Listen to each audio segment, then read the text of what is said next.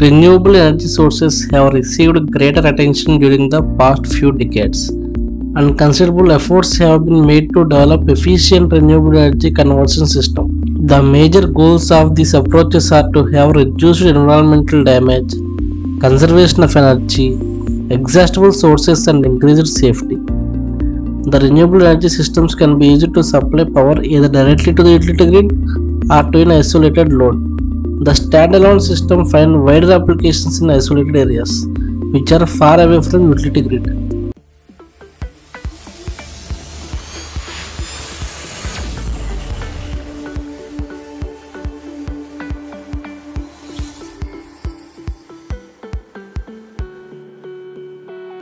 Here, utility grid can get the power from nearest power station, but isolated areas can't do like that.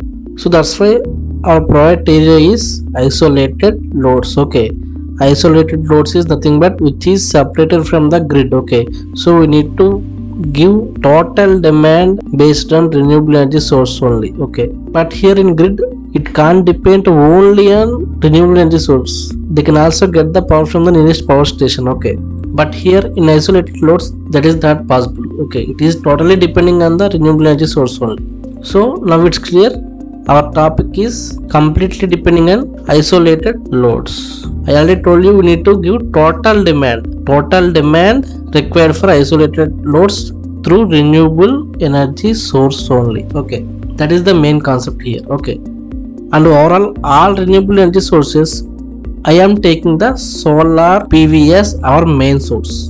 Why I am taking solar PV only? Because it requires less space, easily installable anywhere, and you can see a lot of daily day applications are based in solar only, like solar street lights, solar rooftop homes, solar vehicles, like that. But you can't see any wind homes, tidal vehicles like that. Okay, because this is not possible that is the power of PV. That's why I prefer solar here. But the problem with this solar is if you take the solar system, it is totally depending on the irradiation and temperature. For example, if you take the throughout the day from morning to evening, morning and evening it will get the lesser power from the solar. And afternoon you can get the maximum power. Okay. And night time it completely zero right?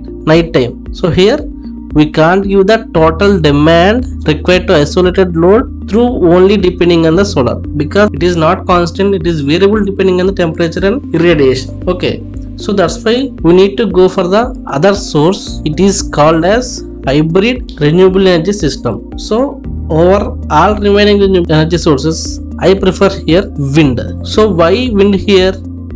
The integration of different energy sources and energy storage systems have been one of the new trends in renewable energy technology. Over all of them, the best hybrid combination of all renewable energy sources, standalone wind and solar is the best hybrid combination of renewable energy systems and suitable for most of the applications.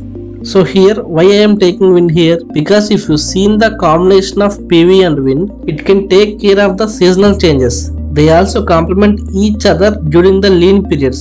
For example, if you take the monsoon months, additional energy produced in the wind and less energy produced in PV. Okay. Similarly, in the post winter months, wind is dull and solar will generate more power.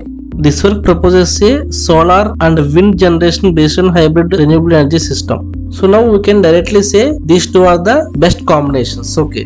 But how we can connect these two? So here the main problem with the combination of PV and wind is in wind you get the AC and solar you will get the DC and also these two are depending on some input okay? If you take the solar it is depending on irradiation temperature. If you take wind it will depending on wind speed. So that's why the output of these renewable energy sources are variable. So to connect these two first of all we need to get the constant supply from the input that's why we are using the dc to dc converter. So after getting the pv we are connecting this to one dc to dc converter to extract the constant power. Okay same as that in wind system we are getting the ac right? First we need to convert this ac into dc by using the rectifier. Okay by using rectifier we are connecting ac to dc then we need to use dc to dc converter to get the exact power. It is clear we are getting the both dcs here but our load is ac right? So to connect this dc to ac we need to connect the inverter okay inverter. So i am using the multi-level inverter here okay. Multi-level inverter not a normal inverter. Here i am connecting the multi-level inverter. Why multi-level inverter? If you see the output of normal inverter you will get the only like this. But if you see in the multi-level inverter you can get the voltage in the form of levels so here when compared to normal inverter, multi-level have the low harmonic distortion, okay, and also higher efficiency. That's why I am preferring multi-level. If you don't know about the multi-level clearly, I already made a video on that from basic level to advanced level, so you can see that video. Okay, so here our main theme is to take the multi-level because it have lower distortion and higher efficiency. So that is the overall diagram we are having. Now we can connect this multi-level inverter to AC. Okay, this is our overall circuit diagram, and here I'm also taking one battery backup to our system okay? So here i'm taking the one battery backup to our model. Why? Because i'm taking this battery storage to store the energy when generation exceeds demand. Whenever the sources exceeds the demand so battery can store that energy okay? And whenever the load required the demand so it can give back to the load. And the supply from the battery is needed during the peak hours when power demand is higher than the production. That's why to balance the load and source this battery plays a key role. That's why i'm taking the battery itself. So this is the our main blocks here. Now if you study separately first of all go for the solar panel. So the input of the solar panel is depending on irradiation and temperature. So output we need to give to the dc to dc converter. If you take the morning to evening the power is variable.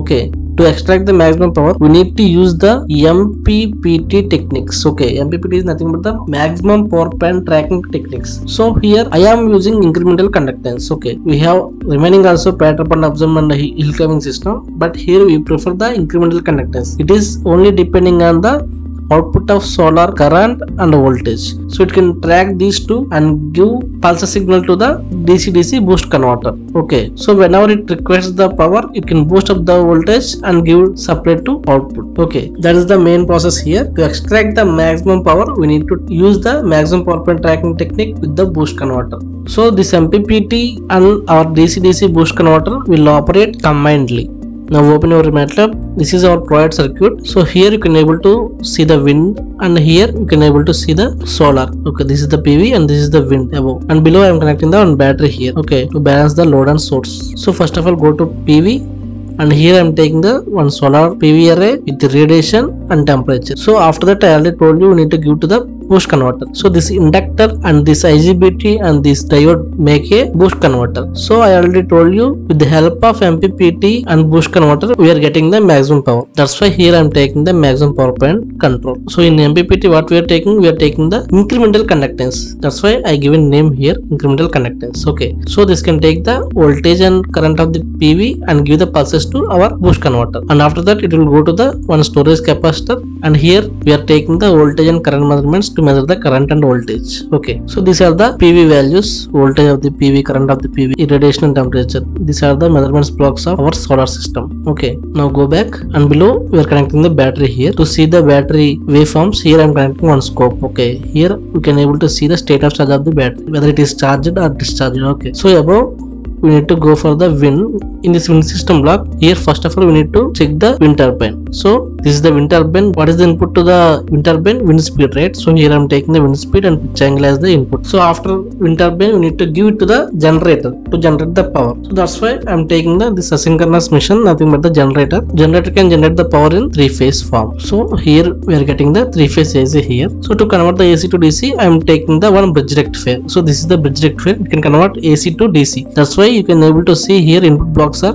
ABC and output blocks are plus and minus. So in between these two you will get the DC okay. So we need to give this DC to one DC to DC converter. So this is the one DC to DC converter because this input value is variable not constant. To get the constant supply we need to take the one DC to DC converter. So same like solar here also we are taking the current and voltage measurements to measure the wind current and wind voltage. Okay. So go back. So here it is clear we are getting the two inputs two separate sources. So these two separate sources will give into the multi-level inverter. Okay these two HBridge inverters will make a multi-level inverter okay. So these two are connected to the output. This is the R load we are taking. You can take any load. So with the help of LC filter we are taking the load. Why lc filter means if you take the inverter also we are getting the output like this right for multi-level inverter. So this is not pure ac right? But for load we need a pure AC like this. Convert this into this we need to take the LC passive filter. That's why here in our MATLAB I am taking the simple LC filter to get the pure AC. So to measure the output voltage and current I am taking the current and voltage measurements both. Okay. And here to give the switching pulses to our inverter I am using the pulse width modulation, sinusoidal pulse width modulation. That's why I am taking the sine wave here and one carrier wave here and giving to the relation operator to give the pulses to our switches. Just double click on the switch it will go to our switch. Okay. So like that we can turn on and we can turn off the switches and below you can able to see the waveforms of our circuit. Run your matlab simulation and click on scopes. Here you can able to see the waveforms. So in the scope 2 you can able to see voltage of the wind and current of the wind. And third one is the product means power of the wind.